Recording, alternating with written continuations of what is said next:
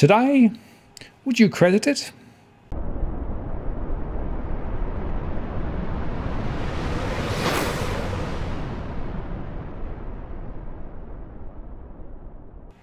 Hello again, it's Martin North from Digital Finance Analytics World Notice Post covering finance and property news with a distinctively Australian flavour.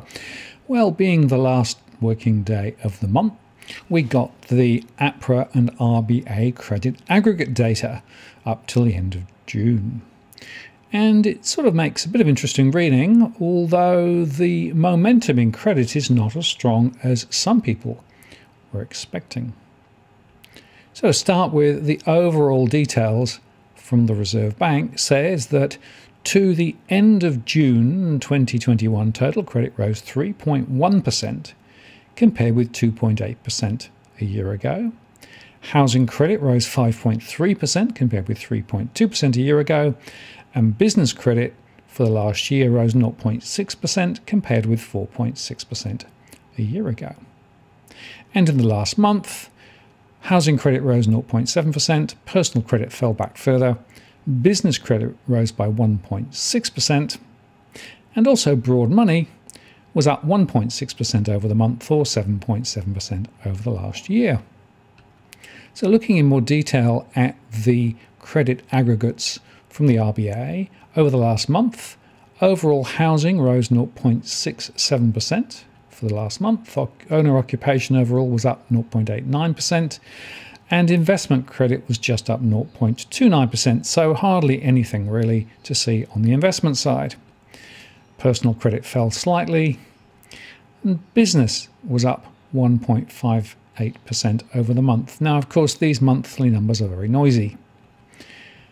And looking also at the total credit, it was up 0.92% over the month while broad money was up 1.59%. A little bit of further stimulus going on, of course, at the moment, so maybe not surprising.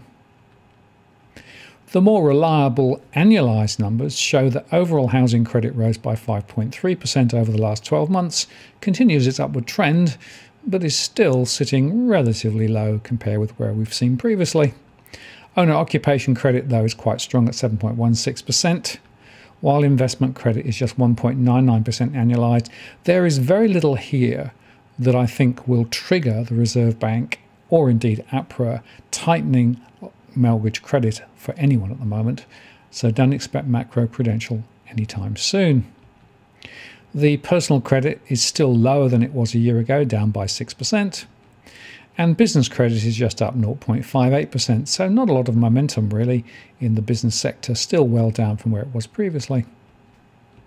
And then, if we look at the aggregate of all credit up 3.13%, it's still rising, but still significantly lower than where it was in 2016.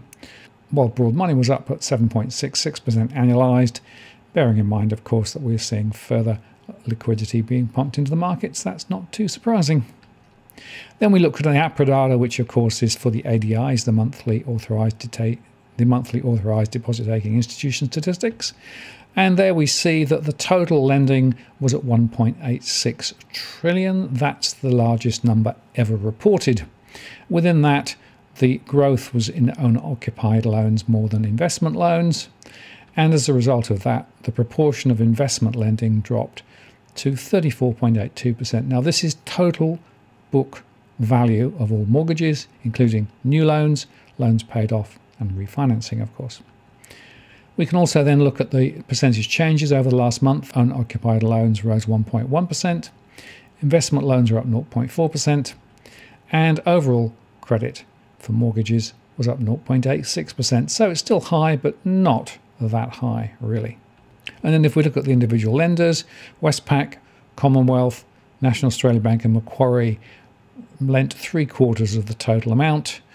A few other small players are also lending, and interestingly, ANZ reduced their owner occupied portfolio slightly while lifting their investment portfolio slightly. Now, of course, bear in mind that this is post any off balance sheet shifting or indeed securitization, so it may not give you the full story, but it is as reported by the lenders.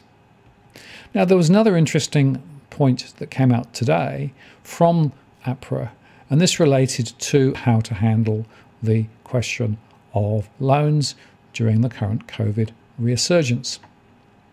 And it makes quite interesting reading. They said on the 19th of July 2021, APRA announced regulatory support for banks offering temporary financial assistance to borrowers impacted by COVID 19.